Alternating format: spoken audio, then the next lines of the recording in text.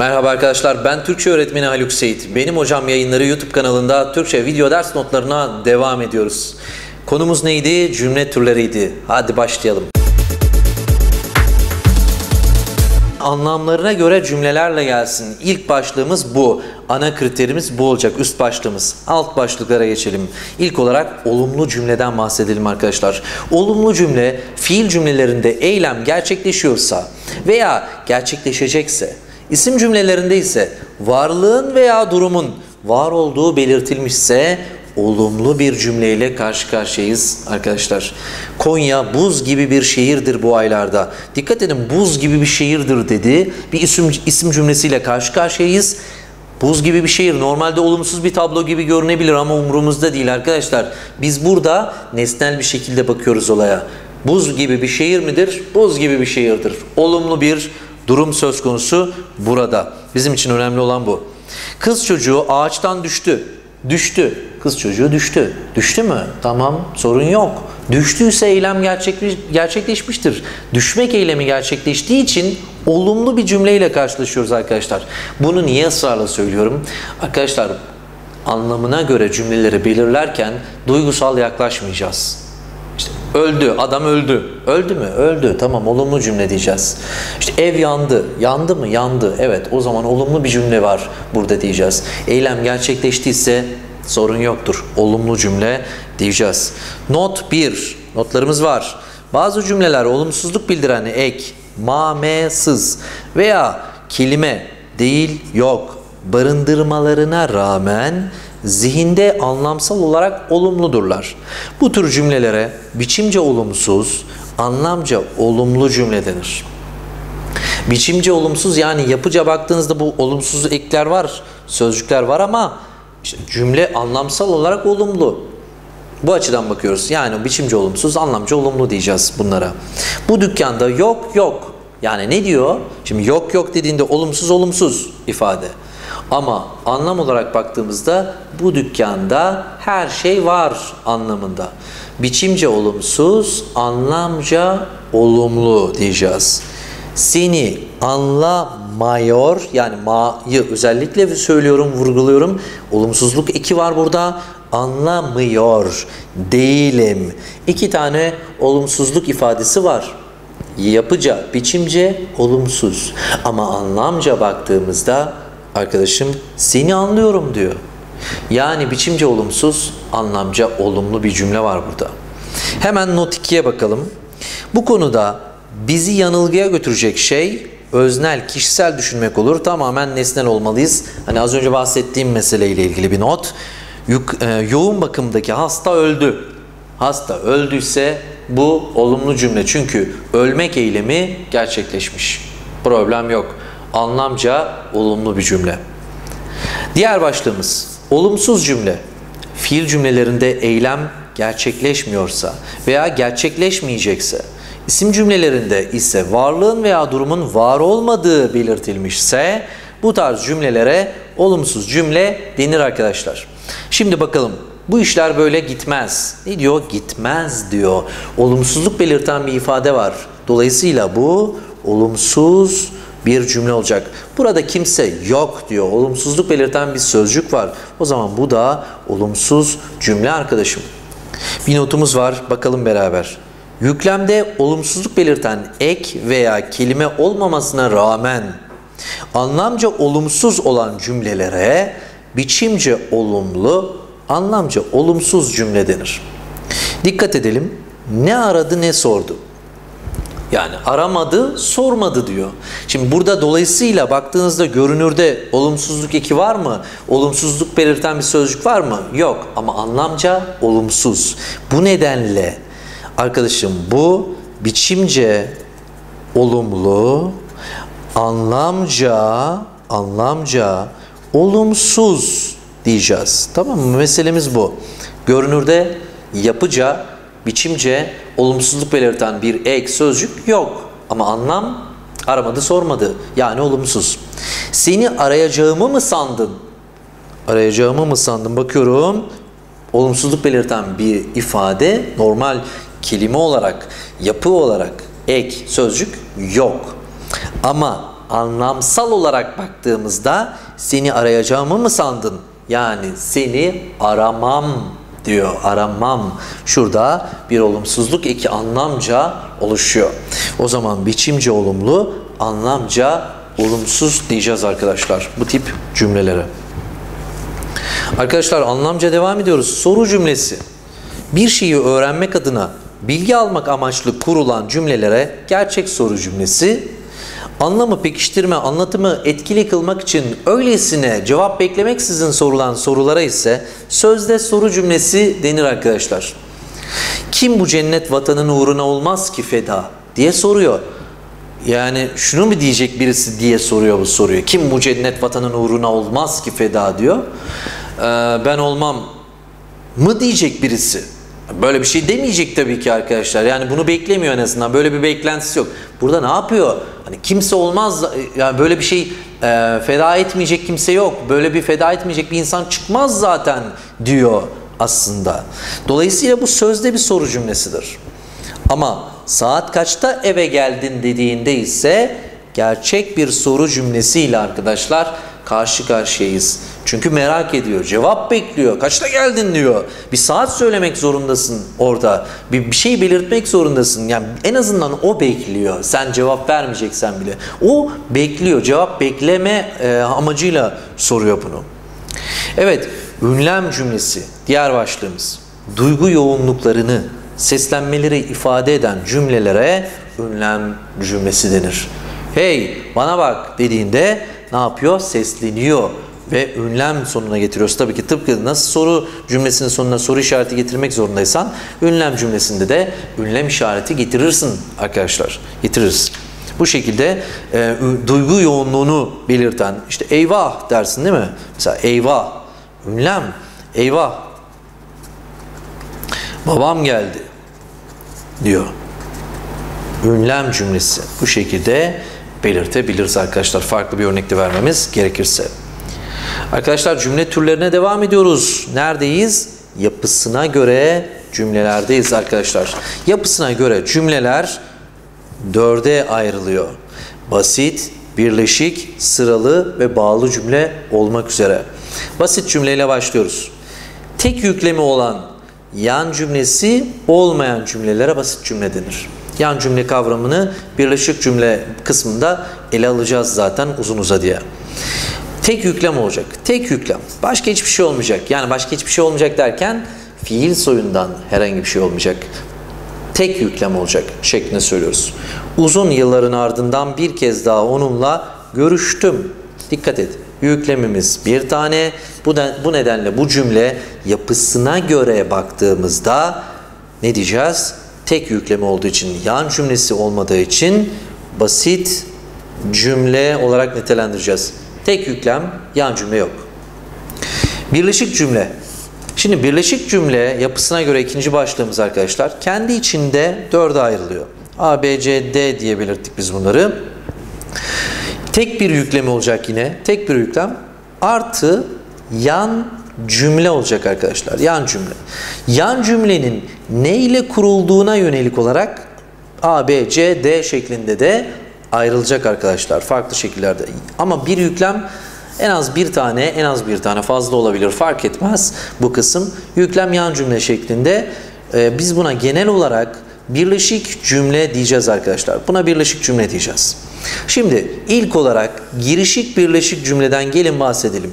Burada ne olacak? Bir tane yüklem, bir tane de yan cümle. Ama bu yan cümlemiz ne ile kurulacak arkadaşlar? Fiilimsiyle.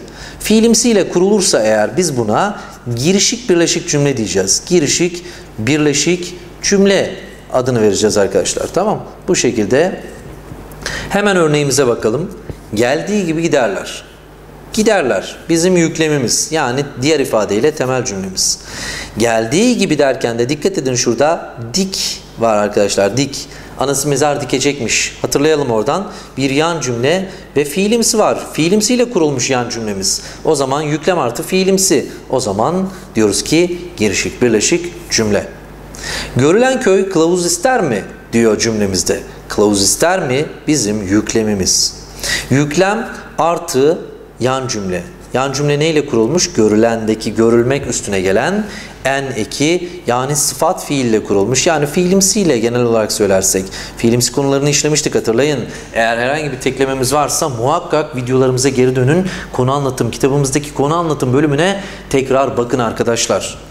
Devam ediyoruz. Bu şekilde yüklem artı fiilimsiyle oluşturulan bir yan cümleden oluştuğu için diyoruz ki girişik birleşik cümledir bu. B şıkkındayız. B seçeneğindeyiz. Şartlı birleşik cümle. Şimdi şartlı birleşik cümle adından da anlaşılacağı gibi bir kere tek yüklem birleşik cümlenin genel yapısı tek yüklem artı şart kipiyle kurulan yan cümle. Meselemiz bu. Yüklem artı bir yan cümle yine var ama yan cümle şart kipiyle kurulacak arkadaşlar. Şart. Meselemiz bu. Hemen bakalım. Gelirsem konuşuruz. Konuşuruz yüklem yani temel cümle.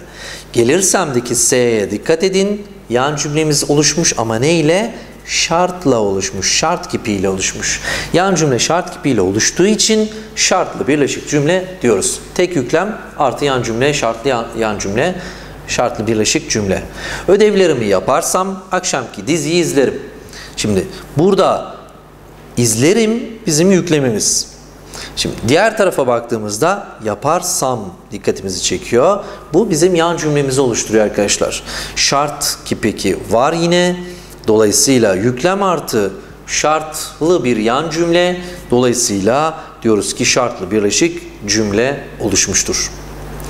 Diğer maddemiz birleşik cümle çeşitlerinden birisi iç içe birleşik cümle. Şimdi iç içe e, birleşik cümlelerde bir yüklemimiz olacak yine tek yüklemimiz var. Artı ne olacak? Bir tane daha yan cümle olacak ama yan cümlemiz bir alıntı cümle olacak arkadaşlar. Alıntı cümleyle kurulacak. İç içe birleşik cümle diyeceğiz bunları da. Yani cümle içinde cümle olduğu için böyle olacak. Ne diyor? Hayatta en hakiki mürşit ilimdir dedi. Dedi yüklem. Temel cümle. Ne dedi? Hayatta en hakiki mürşit ilimdir. Tırnak içinde dikkat alıntı olduğunun kanıtı. Zaten dedi demek bir alıntı olduğunu ifade etmektir aynı zamanda ama artı tırnak da var yine kullanılmış. Dolayısıyla ne diyeceğiz arkadaşlar? Yan cümle artı alıntı cümleyle oluşmuş bir cümle. İç, içe, birleşik bu nedenle cümle deriz. D maddesindeyiz. Ki'li birleşik cümle. Arkadaşlar bu sefer ne olacak? Yan cümlemiz yan cümlemiz yüklem artı yan cümle. Aynı mantıkla burada da vardı. Aynı mantık yüklem artı yan cümle. Yan cümle ama alıntı cümleydi hatırlayın. Ki'li birleşikte de ki bağlacı devreye girecek. Ki bağlacı devreye girecek. Bir cümlenin ki bağlacı ile başka bir cümleye bağlanmasıyla oluşan cümlelere ki bir, ki'li birleşik cümle denir. Görüyorum ki bizi unutmuşsun. Yani bizi unuttuğunu görüyorum diyor aslında. Bu yüzden biz buna birleşik cümle diyoruz arkadaşlar. Ki ile bağlanmış bunlar birbirine. Buna da ki ile birleşik cümle diyoruz bu yüzden. Gördük ki onlar da oraya gelmiş. Onların da oraya geldiğini gördük. Bu nedenle yüklem artı ki'li ifade diyoruz. Bu şekilde de ne diyeceğiz? Ki ile birleşik cümle diyeceğiz. Buna da ki bağlıcı kullanılmışsa bu şekilde adlandıracağız. Evet arkadaşlar bu şekilde birleşik cümleyi de tamamlamış olduk. Şimdi üçüncü maddedeyiz. Sıralı cümledeyiz. Sıralı cümlede en az bu sefer dikkat edin şu ana kadar hep tek yüklemden bahsettik. Ama bu andan itibaren iki yüklemden bahsedeceğiz en az. Sıralı cümlelerde en az iki yüklem vardır. Yüklem artı yüklem şeklinde. Buna biz e, bu iki yüklem birbirinden virgül ya da noktalı virgülle ayrılırsa buna biz sıralı cümle diyeceğiz. Arkadaşlar sıralı cümle diyeceğiz. En az iki temel cümleden yani yüklemden oluşan birbirinden virgül ya da noktalı virgülle ayrılan cümlelere sıralı cümle denir arkadaşlar. Herhangi bir ögesi ortak olanlara bağımlı sıralı cümle, herhangi bir ögesi ortak olmayanlara bağımsız sıralı cümle denir. Yüklemler arasında ortak bir öge varsa bağımlı, ortak bir öge yoksa bağımsız cümle denir. Bağımsız sıralı cümle denir. Arkadaşıma gittim, beni aramış. Yüklem, yüklem. Kim gitti? Ben gittim. Ben, öznemiz ben. Kim aramış? O aramış, özne o, gizli özne. Özneler farklı, ortak değil. Beni aramış, beni gittim diyemezsin. Arkadaşıma gittim, arkadaşıma aramış diyemezsin. Kısacası ortak öge yok. Bu nedenle bağımsız sıralı cümle diyeceğiz arkadaşlar bunlara. Neden diyeceğiz? Sıralı cümle neden diyeceğiz? İki tane yüklem var, virgülle ayrılmış. Bitti. İki yüklem, en az iki yüklem. 3 olabilir, 4 olabilir ama en az 2 olacak. 2 yüklem varsa, virgülle ayrılmışsa birbirinden sıralı cümle. Öge ortaksa bağımlı, öge ortak değilse bağımsız sıralı cümle. Meselemiz bu. Evi sildik, süpürdük. Sildik yüklem, süpürdük yüklem. İki tane yüklemimiz var. Bu işi kim yaptı? Biz yaptık. Biz sildik, biz süpürdük. Dolayısıyla her iki yükleme de bu, biz öznesi bağlandığı için ne diyeceğiz? Ortak ögemiz var. Öznemiz ortak. Öznemiz ortaksa yani daha doğrusu bir öge ortaksa, en az bir öge ortaksa diyeceğiz ki bağımlı sıralı cümleyle karşı karşıyayız. Bağımlı sıralı cümleyle karşı karşıyayız arkadaşlar. Evi sildik, evi süpürdük. Aynı zamanda nesnemiz bile ortak. Dikkat edin. Özne ortak, nesne ortak. Bir tanesi yeterliydi bize. İki tane yüklem var. Virgülle ayrılmış sıralı cümle. Mantığımız bu. Şimdi son olarak yapısına göre cümlelerde bağlı cümleden bahsedeceğiz. Dördüncü başlığımız bağlı cümle. Dikkat edin. Bağlanmış olan cümle. En az iki yüklem olacak. Ama bu iki yüklem birbirine bağlaç ile bağlanacak arkadaşlar. Bağlaç ile bağlanacak. En az iki yüklem ve artı bağlaç. Geldim yüklem. Gördüm yüklem. Ama geldim gördüm değil. Geldim ve gördüm. Araya bağlaç girdi. O zaman bağlı cümle. En az iki yüklem artı bağlaç. Okudum onu okudum. Yüklem. Çünkü ilgimi çekti. Çekti yüklem. Çünkü bağlaç. Arada bağlaç var. O zaman ne yaptı bu bağlaç? Bağladı. Bağlı cümle var diyeceğiz arkadaşlar. Meselemiz bundan ibaret. Arkadaşlar cümle türlerini bu videoyla beraber konu anlatım açısından bitirdik. Ama biz biliyorsunuz ki sorularımızı da çözüyoruz. Sorularımızı çözerken de öyle cevap anahtarı gibi A bunun cevabı B demiyoruz. Açıklayarak çözüyoruz. O zaman seni ben muhakkak soru videolarına da bekliyorum. Bu sene efsane olacaksın. Bu sene harika işler yapacaksın. Ben de yanındayım. Benim hocam yayınları yanında. Görüşmek üzere bir başka videoda yorumlarını bekliyorum. Abone ol muhakkak. Kendine iyi bak.